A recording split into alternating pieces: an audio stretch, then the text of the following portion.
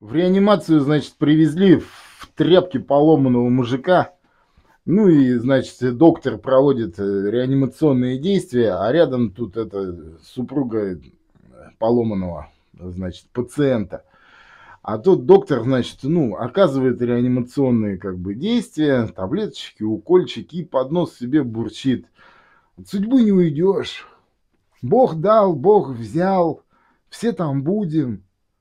Баба на него смотрит вот с такими пешками и говорит, доктор, а вы точно реаниматолог, а?